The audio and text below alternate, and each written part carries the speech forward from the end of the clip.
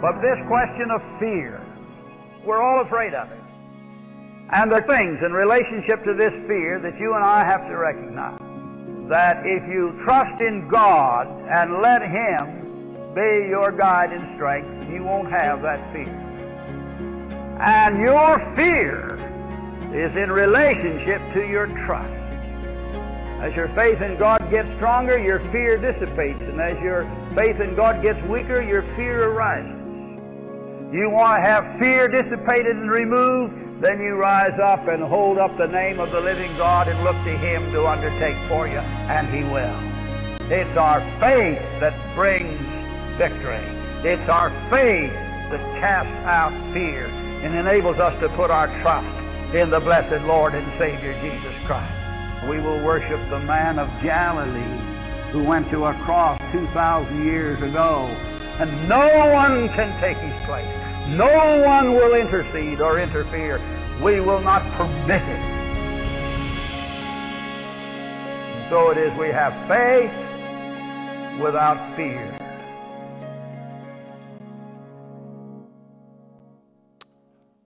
All right, good morning, church. Welcome to our Sunday morning service. I feel feel like I need to give maybe three different welcomes because we've got a few people who are in the service right now helping put on this live stream. So welcome to everyone who's here. Welcome to our families who are out on the lawn. You guys want to give like a round of applause so that the live stream can hear you? Maybe you heard that, maybe not. And then welcome to those who are watching from home. Uh, my name is Nick. I'm the youth pastor here at Beach Bible, and I am so thankful to have the opportunity of sharing from God's Word this morning. If you've been following along from the past several weeks, you know that we've started a new series in the book of Esther titled Faith in the Face of Fear. Before we go any further, I'd love to just open up this time with a word of prayer. Let's pray. Heavenly Father, God, as we look to your word this morning, may we be changed by it. Father, may we open our hearts, open our ears to what your word has to say, and, and may it not fall on, on deaf ears, God. Lord, we love you, and we just want you to be glorified above anyone or anything else this morning. In your son's name we pray, amen. So I wanted to start with a question, and the question is Have you ever been placed in a situation where you needed to make a stance for your faith? Have you ever been placed in a situation where you needed to make a stance for your faith? So I want you to think about that exact situation. And, and as you're thinking about that situation, I want to give a few different examples that may or may not be relevant to you. For those who may work in a secular environment, maybe there's a time where you've been faced with a moral dilemma.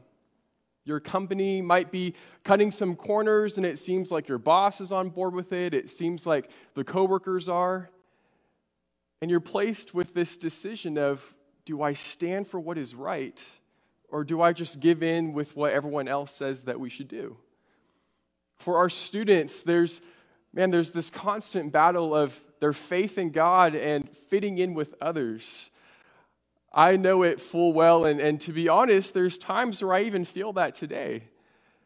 But to give a specific example, maybe uh, a student is invited to a house party, right? And they know internally it, it compromises their convictions and their beliefs, but at the same time, they want to fit in, they want to be liked, they want to be accepted, maybe even seen as popular. So they struggle with that decision. I think about social media. Oh my goodness. Think about all that we've seen on Facebook, on Instagram, just scrolling through your news feed. It's not hard to find an argument. And it makes you wonder how should you respond? Do you maybe comment or, or post something and risk facing scrutiny from others? Or do you just keep scrolling? Almost ignore it, pretend like you don't see it. You see, regardless of what the situation might be, there's a common thing or feeling leading up to each of these decisions, and that is fear. There's a fear of judgment, there's a fear of backlash. There's a fear of stirring the pot. There's a fear of being seen as different. There's a fear of sparking controversy. And what we're going to see this morning is in our passage, there's one man who made a stance in the face of fear. And it led to some pretty gnarly circumstances. And even though uh, Esther was written thousands of years ago, this story carries the same principle that applies to us this morning. If I could sum up this message in just one statement, it would be this Make a stand for Jesus, even if you're the only one standing. Make a stand for Jesus, even if you're the only one standing. And from what we know of the book of Esther, I want to bring up two things before we go any further. The first is this as Mike has mentioned in previous weeks, God's name is never mentioned in this book.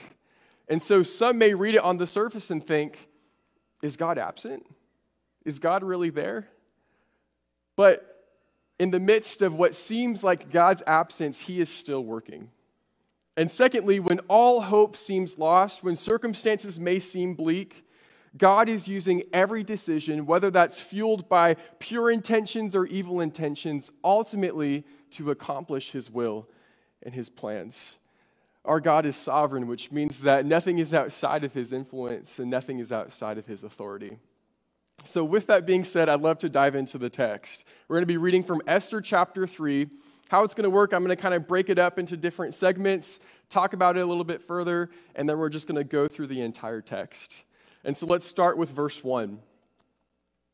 After these things, King Ahasuerus promoted Haman the Agagite, the son of Hammedatha, and advanced him and set his throne above all the officials who were with him. So let's stop there because we're introduced to this new character named Haman. And all that we know of Haman so far is that he was promoted to the highest position by the king. Think of it as like a second in command. And you see, the author's placement of Haman's promotion, it seems a little bit out of place. If you remember from last week, as Mike wrapped up the end of chapter 2, you'll remember that it was Mordecai who uncovered this assassination plot against the king, ended up notifying Esther, who told the king, and it saved his life. So if you're following along with this narrative, you'd assume if anyone were to be promoted, it would be Mordecai. But instead, it's Haman. I want to pause and, and even ask the question Has there ever been a time in your life where you weren't properly recognized for something that you maybe deserved to be recognized for? Or better yet, maybe someone else was recognized for something that you did. If I'm being honest, this is probably my least favorite feeling in the entire world. And I don't know if that reveals more or less about me, but the first thing that also came to my mind was group projects, right? I'm not too removed from school, and so I remember having my fair share of experiences with group projects. But the thing about group projects is this there's typically one person who takes on the biggest load of work, right? There's that one person in a group of slackers who's taken on all the work and they just want to make sure that your group gets a good grade. And the thing is with group projects is that everyone, for the most part, does get the same grade. And so there's that incentive of if I'm in a group with slackers, I got to make sure I step up, right? Take one for the team. But getting back to the point, we can just agree this isn't a fun feeling. Even if you did all the work for the group project, you may not be recognized for that or maybe given an extra sort of award. So, what we've seen is Haman is promoted to a high position by the king. But what we're going to see more is what that entails. So, let's go back and read in verse 2. It says, And all the king's servants who were at the king's gate bowed down and paid homage to Haman, for the king had so commanded concerning him. But Mordecai did not bow down or pay homage. Then the king's servants who were at the king's gate said to Mordecai, Why do you transgress the king's command? And when they spoke to him day after day and he would not listen to them, they told Haman in order to see whether Mordecai's words would stand, for he had told them that he was a Jew. So, what we've seen so far Haman's promoted by the king. And what's followed with that promotion is this sort of commands that whenever Haman passes by, that all of the king's servants must bow down and honor Haman. I mean, talk about feeding someone's ego, right? From what we'll see in this chapter, Haman, he's a very arrogant and prideful man. So he's probably relishing in the fact that whenever he's walking around the capital that he's got people bowing down to him. He's loving it. But there's one person that chose not to bow down, and that's Mordecai. In fact, he refused to do so even when he was prompted or, or even nudged by the king's servants. I want you to picture this scene where Haman is passing by and all the king's servants are bowing down to him. And it's like they look over their shoulder and see Mordecai still standing, thinking, Mordecai, what are you doing, man? Did you see Haman just walked by? Like, do you know what we're supposed to do here? But it says Mordecai refused to comply. He didn't give in. Day after day, after being warned by the king's servants, Mordecai stood his ground. And remember, we don't really know the motives behind Mordecai's refusal. Since it's a narrative, we can only read the story and then sort of imply what the motivations are. And we have to kind of read in between the lines. So, from what we know of Mordecai, he doesn't seem like he's one to stir the pot. In chapter 2, he asked Esther to conceal her Jewish heritage. If anything, this shows he's quite passive, even shows maybe he's wrestling with some fear. It also seems that Haman wasn't even aware of Mordecai's perceived disobedience. It wasn't until the king's servants notified Haman that Haman reacted. And so, what this tells us is that as Mordecai is standing amidst all the king's servants bowing down before Haman, it's not like he's got this megaphone saying, Hey, Haman, look at me. I'm standing, right? You see, I'm standing amidst everyone else bowing down. He's not making this outwardly act of defiance. It's not obvious. He's not making a spectacle out of himself. So, with this in mind, what do we think are some reasons why Mordecai chose not to bow? Could it be pride? As we saw earlier, um, doesn't it seem like Mordecai is a rebellious person, but maybe he was trying to get a point across. Or maybe it's jealousy. Was Mordecai's refusal fueled by envy because Haman was promoted to a position that was meant for him? You see, neither of these explanations align with Mordecai's character or from what we've read about him so far. There has to be a more reasonable explanation. And if we go back into the text, specifically in verse 4, we may be able to find what that explanation is. It says, and when they spoke to him day after day, and he would not listen to them, they told Haman in order to see whether Mordecai's words would stand. For he had told them that he was a Jew. There it is. I'd say, arguably, the most probable reason why Mordecai refused to bow down is because he was a Jew. It compromised his beliefs. As a Jew, Mordecai didn't want to bow down to anyone or anything apart from God. And we can assume that Mordecai was alone in this decision. In the text, it doesn't mention anyone else who chose to remain standing as everyone else was bowing down. And we still know that in Susa, there had to have been other Jews who were present who maybe they did bow down, maybe they didn't. But from what we can read in this text, is that Mordecai he stood in boldness, whether that was for God or, or for whatever other reason. And it was in the face of fear, and he was the only one who was standing. And we can't say again with absolute certainty that this is 100% the reason why Mordecai didn't bow down to Haman. All that we know is he made a stance. He made a stance that was unpopular, he made a stance that was bound to spark some controversy, and it couldn't have been easy for him. And maybe it was the very first time in Mordecai's life where he took a stance of boldness and courage. As I'm sure that many of us would agree, it is so much easier to blend in with a crowd than it is to stand out and be different. Because standing out can be controversial. Standing out means that people might question you. They may doubt you, they may mock you, or they may completely abandon you. Major League Baseball started just a few weeks ago, and I can't tell you, church, how excited I was to see baseball again. Oh, it was so nice, even though no one was in the stadiums, just to see baseball. And whether or not you follow baseball, there's one story that made headlines, and again, it sparked a lot of controversy. On opening day, before the Dodgers and Giants game started, quick side note I'm from the Bay Area, which means I'm a diehard Giants fan. I know there might be some Dodgers fan in the church, but just thought I'd let that know as a precursor. Um, before the Dodgers and Giants game started, there was a moment where every player and coach from both teams they took a knee and they held this long piece of black fabric in a moment of unity.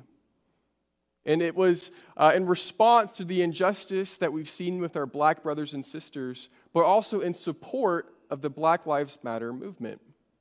And so all players, all coaches participated in this, all except for one player. And the outlier was San Francisco Giants pitcher named Sam Coonrod. He chose to remain standing during this time.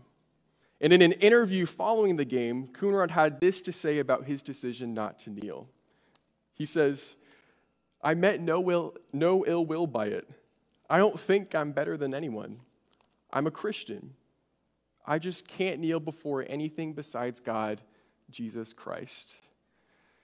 So, as you can imagine, there was a lot of difference in opinion with Coonrod's decision, even between believers. It brought up these questions like is it wrong to kneel or to pledge or to, to bow down to anything or anyone apart from God? Or is there a difference between showing respect and worshiping? So, wherever you feel on the spectrum, and I hope that there's one thing that we can see in his example and, and, and just come to an agreement on. And that is that this player, he, he felt some sort of conviction from the Holy Spirit. He responded to that and made a stance for Jesus Christ, and he was literally the only one who was standing. Not everyone agreed with his decision. I, I, mean, I've read articles of, of people bashing him, questioning him, calling him insensitive, hatred. I'm sure he's still questioned and mocked to this day. And that's because making a stance for our faith, it's not always easy. And oftentimes, we're met with various challenges. If we go back to where we left off in chapter 3, we'll see that Mordecai was met with a pretty big challenge in response to his decision.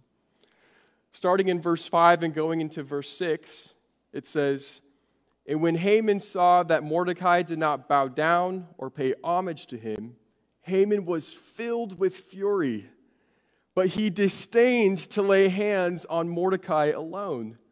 So, as they made known to him the people of Mordecai, Haman sought to destroy all the Jews, the people of Mordecai, throughout the whole kingdom of Ahasuerus. See, Mordecai's decision to stand, not to bow down to Haman. It set this whole wicked plan into motion. And it makes me think of times where, you know, you may be so upset with someone or something, and, and you may have this sort of uh, knee jerk or impulse reaction. And oftentimes that's fueled with anger and frustration. I mean, granted, I'm sure we've all had a weak moment or two, right? But Haman, he takes this to a whole another level. Haman was filled with rage and anger towards Mordecai, all for the fact that this man didn't bow down to him, didn't feed his ego, didn't show him the respect that he was clearly seeking. And he was so filled with wrath that, that it wouldn't be satisfied by just killing Mordecai alone. He found out who Mordecai's people were and then began devising this evil plan to not only wipe out Mordecai, but to kill all of his people, the Jews. Man, talk about an overreaction, right? This gives us a lot more information about who this character of Haman is prideful, angry, filled with wrath. And as we're reading this text, I feel like this is around the time in the text, the story, where you may question God, where are you? God, where, where are you in all of this? Think of how many times in your life where you may have asked that same question. You want to believe that God is present and working in your life, but He just seems absent. You're being faithful, you're going to church, you're serving, you're in a life group, but life just isn't working out as you would have expected. Maybe you're seeing the wicked prosper like Haman, and, and you're seeing the righteous overlooked like Mordecai. And all these things lead you to question God, are you even there? You know, I wonder if Mordecai felt this way too. I wonder if Mordecai was, was talking with God and saying, God, why didn't you honor my stance? God, did you see I was the only one who was standing? God, do you know how challenging that was for me? Or, God, how could you allow Haman to kill our people? Aren't we your chosen people? Don't you have a plan for us?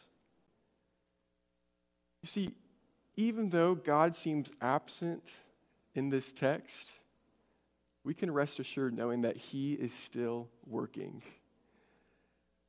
Sometimes we think this needs to be by miraculous means, or these stories of healings, or something that's obvious that we can see with our own eyes right in front of us. But that's not always how God works. Often, God works through what seems to us like coincidental or chance events. And these sort of coincidental or chance events are often formed from our own human decisions, whether that be from evil or questionable motives. But all of these things are part of God's greater plan. And He's still using all of the uh, gnarly things that have happened in this story, He's using it for a greater plan that He has in store. So now that Haman has his eyes set on destroying the Jews, he begins to piece his plan together. In verse 7, it says, In the first month, which is the month of Nisan, in the twelfth year of King Ahasuerus, they cast pur, that is, they cast lots, before Haman day after day, and they cast it month after month till the twelfth month, which is the month of Adar. So, phase one of Haman's evil plan is to set a date for the massacre of the Jews. He chose to rely on Pur, which is also known as Lot. And casting lots was this practice used to leave a decision up to chance. It's like the modern day version of flipping a coin or rolling dice. And keep in mind, the Persian religious system, they stressed fate and chance. And Haman, he was an incredibly superstitious man. He chose to cast lots to sort of leave the, the date up to his gods. And so the casting of the lot determined the Jews would be killed on the 12th month, which was still 11 months away. And, church, this is even a sign of God's clear providence. There were still 11 months till this so called massacre were to come to fruition. It reminds me of this verse in Proverbs 16:33, which says, "The lot is cast into the lap, but it's every decision from the Lord." This date, it didn't come from the discretion of any gods. This date was picked under the direction of our one true God. Our God, who is sovereign over all details, He's in control of all things. He was in control of the planning of this massacre. And so now that the date was determined, it was time for Haman to get the king on board. And as we're going to see, it wasn't very hard for Haman to convince the king. Let's pick up in verse 8, and then we're going to read until verse 11. It says, then Haman said to King Ahasuerus, There is a certain people scattered abroad and dispersed among the peoples in all the provinces of your kingdom. Their laws are different from those of every other people, and they do not keep the king's laws. so that is not to the king's profit to tolerate them. If it please the king, let it be decreed that they be destroyed, and I will pay 10,000 talents of silver into the hands of those who have charge of the king's business, that they may put it to the king's treasuries. So the king took off his signet ring from his hand and gave it to Haman the Agagite, the son of Hammedatha, the enemy of the Jews. And the king said to Haman, The money is given to you, the people also, to do with them as it seems good to you. So, what happens here? Haman, he, he sort of comes up with this plan of how he's going to share this plot with the king. And what he's doing here is he's giving this entirely bogus scenario that's full of general statements. Haman says there's these certain people, so the king has absolutely no idea who these people were. He says that they do not keep the king's laws, but Haman doesn't provide any sort of specifics as to what laws they're breaking. All that he does is say, these people, it would be in the king's profit not to tolerate them. It would be in the king's interest if he were to wipe them out.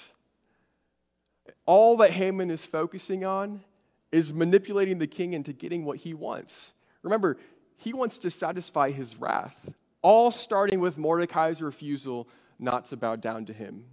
And so he wants to see his plan set in motion. And you know, it's no different than what many of us can be guilty of. You know, I'm not saying that we're all going to devise this plot of, of killing a bunch of people. I sure hope not. But what I'm saying here is that oftentimes we may leave out the details in a story that we know may be detrimental if we were to share them, also that we can get our desired outcome. And so that's what Haman is doing in this example. And he tops it off with sort of a bribe. He offers to pay 10,000 talents of silver, which in today's value would be millions of dollars. And this isn't money that Haman had in his pocket or back in his home, but this is money that he was expecting to receive from killing the Jews and then taking hold of their property and possessions. And without having to think twice, the king he takes off his signet ring, he hands it over to Haman almost as if he's signing off on this decree. It's a piece of cake. Haman probably didn't break a sweat in even having to share this with the king. So, what does this tell us about the king? Well, first and foremost, it says he could care less about the value of human life. I mean, the king has no idea who these people are. He has no idea what exactly they have done. All he cares about is if these people come off as a threat to him. Either he's super trusting in Haman as his second in command, or he just really doesn't care about the value of human life. Probably both. It would have been entirely a different story if he knew that his very queen was a part of the people that were going to be impacted by this decree, for Esther was a Jew. So, just to give you all an idea of, of how many people, how many Jews this decree would impact, I want you guys to look at this map.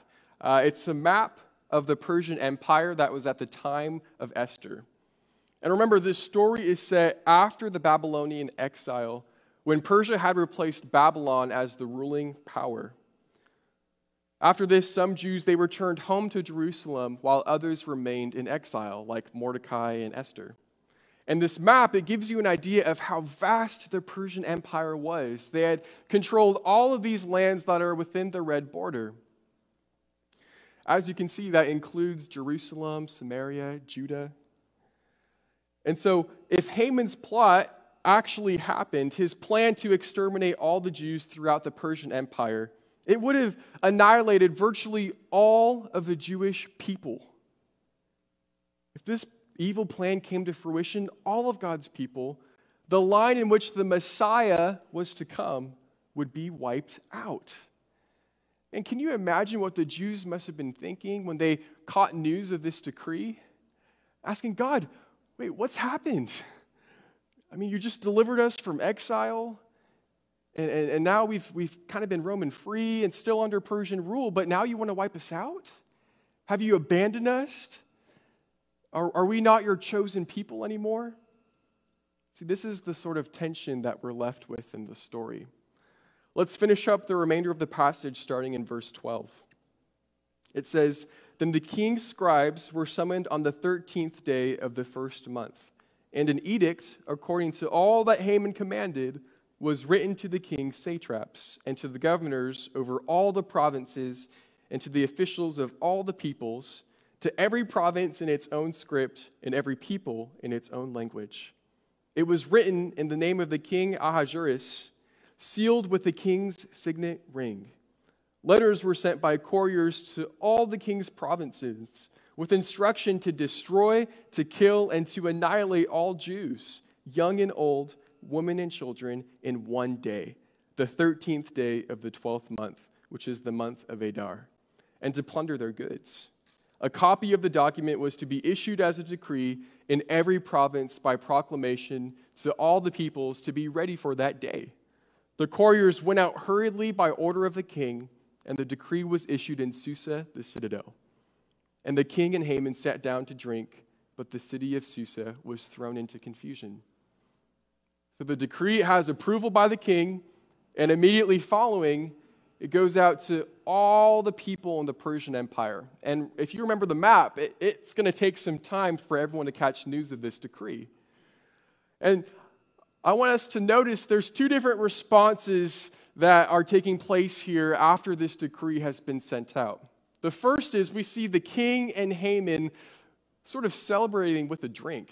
I mean, it's pretty messed up if you think about it. They sign off on this decree of, of a mass murder, and then they top it off with a drink. Like, all right, good for us, we did it. But at the end of verse 15, it says, The city of Susa was thrown into confusion.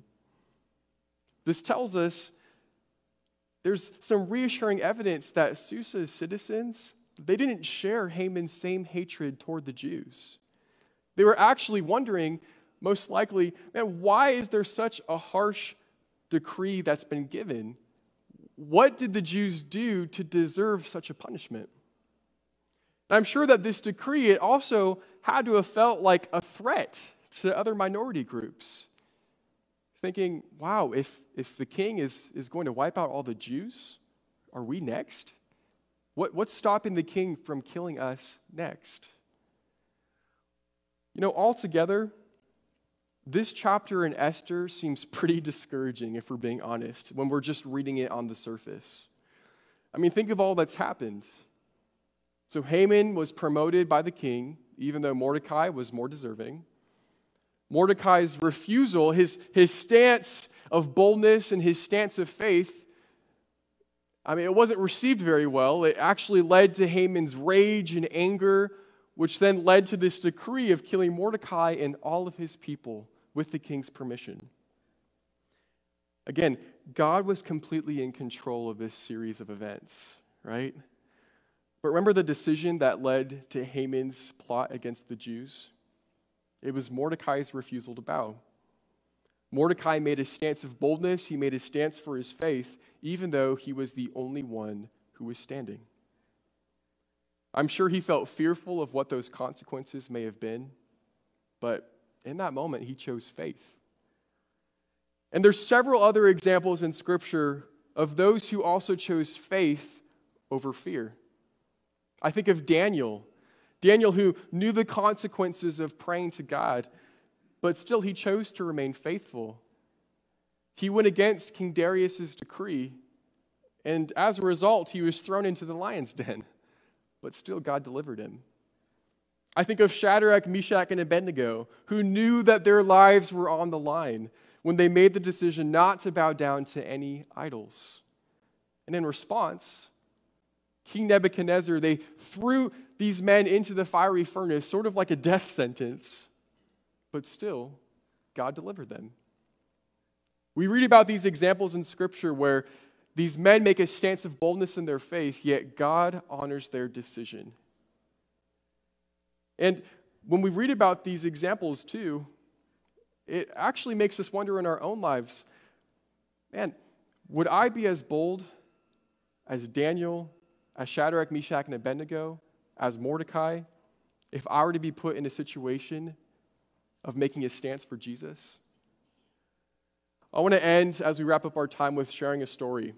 Um, two years ago, my wife Hannah and I, we graduated from Biola, and just two days after that, we got married. It was a pretty crazy weekend. Uh, and then a week later, we picked up all of our things and we moved to the Bay Area. We moved to Marin County. And once we moved, we both started new jobs. So I stepped in as a youth pastor, actually at the church that I was raised in, and Hannah stepped in as an FCA representative. And so maybe some of you have heard of FCA before. It stands for Fellowship of Christian Athletes.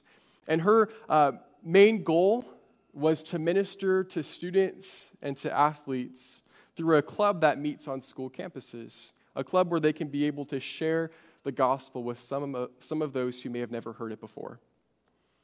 But you see, there was an initial challenge with her job. In the area where we moved, there were no pre existing FCA clubs. To give some perspective, down here in Southern California, FCA is almost like a household name. I mean, FCA is spread throughout many campuses across Southern California, Orange County, LA County. But if you were to bring up FCA to anyone in Marin, or even throughout the Bay Area for that matter, no one would know what you're talking about. And to give more context about Marin County, it's the most unchurched area in the nation. There are a very few number of churches in Marin, and even fewer number of those churches who are actually preaching from God's word. So to say that this was a challenge um, might even be an understatement. We knew what we were getting ourselves into. Hannah needed to find students and a club advisor to be a part of something that was bound to spark controversy. So, a few months into Hannah's job, she found a student uh, her name was Clarice, and Clarice said that she was willing to serve as the FCA club president, a big undertaking. As the school year began, Clarice submitted a club request form uh, to the school. And just a few days later, she got called into the vice principal's office, which, mind you, that's a, never a good sign. And so Clarice, she's called into the vice principal's office, and she sits down, and the vice principal tells her, Clarice, you can't start an FCA club. Because it's a Christian club. It's way too exclusive. That would never be able to be a part of our school campus. And so you think at this point of the story, many of us, if we were in Clarice's shoes, would say, All right, I hear you. Get up, walk out, and almost pretend like nothing happened. You know, it's way easier to do that at least. But as believers, we must take a stance for what is right without being timid and, and without being held back by fear. And still, respect should never be compromised in our pursuit of justice. So, after being told that they could not bring an FCA club onto campus, Clarice and Hannah, they met together and they formed this sort of document. Think of it as like a school bill of rights that shared their rights their rights of starting a Christian club, their rights of bringing Bibles onto campus, and their rights to share the gospel freely. These are all rights that we have, but rights that not many of us know. And so they put this document together, they brought it to the vice principal, and the vice principal, she responded and said, I guess you're right. I can't deny your rights. I, I mean, the proof is in the pudding. And so she allowed the club to start on campus. All of this all started with one student's step of boldness in their faith. And God honored her decision. And if I even look back on the impact that this club made on the students who were a part of it, on the leadership team, and the students who were coming and showing up, at one point there were over 50 kids who were a part of this club, hearing the gospel of Jesus Christ, many of whom actually surrendered their lives to Jesus. This all started with one girl's decision to be bold in her faith. You know, when you're following Christ, it makes you realize that even if you lose everything in this life, which to us it might seem like our status, our popularity, um, friendships, respect, even if you lose all of those things for making a stance in your faith, you still have everything. Because all these things that we may put at a high pedestal in our lives, they're temporary. What's forever, what's eternal is our relationship with Christ and his presence with us. And when we cultivate this perspective in our life, it helps to give less meaning and value to the things of this world, our present circumstances, and our fears that may go along with that. In response, we can go forward in our faith, have peace with Jesus, knowing that He is with us. Jesus, the one who goes before us, the one who stands beside us, and the one who lives in us. Isaiah 41:10 says this, "Fear not, for I am with you. Be not dismayed, for I am your God. I will strengthen you, I will help you, I will uphold you with my righteous right hand." Without Jesus, Wow, we have many reasons to fear in this life. I mean, think of all that our world has come to this pandemic, uh, think of politics, famine, natural disasters. We have so many reasons to fear if it wasn't for Jesus. But with him, we have no reason to fear. As it says in Isaiah, he will strengthen you, he will help you, and he will uphold you. So, church, let's make a stance for Jesus, right? Let's make a stance for Jesus, whether it be big or small, whether we're alone or with a group of other people. Let's make a stance of boldness in our faith in Christ. And see that God's going to honor that decision. It, it, may not be in an outcome that we desire, that we have planned for, but it will ultimately be to fulfill His greater plan, a plan that is much better than any of us can ever imagine. Let's pray. Heavenly Father, we thank you for this morning to be able to read in your word, to be encouraged by what it has to say. Father, I, I thank you that even when our circumstances may seem bleak, that you are with us. Father, I pray that we would just be so filled with you, Lord, that whenever fears come our way, we wouldn't be shaken God, that we would trust in your faithfulness for us. So, God, we thank you for this time. May this message serve as an encouragement, but also conviction to those who are able to hear it. In your son's name we pray. Amen.